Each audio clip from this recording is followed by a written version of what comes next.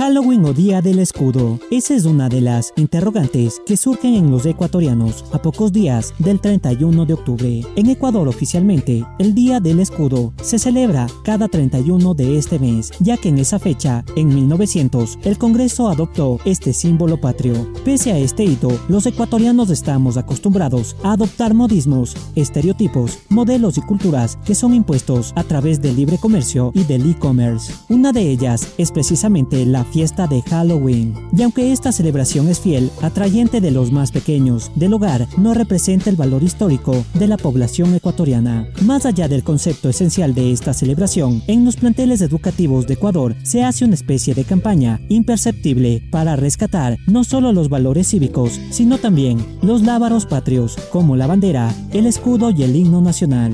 Pero si usted se pregunta dónde queda la celebración del escudo del Ecuador, a pesar de esta mención, pues lo cierto es que la importancia de este día conmemorativo resalta en los hogares tradicionales, pese al deseo de aceptación que cada vez atrae más adeptos a festividades extranjeras.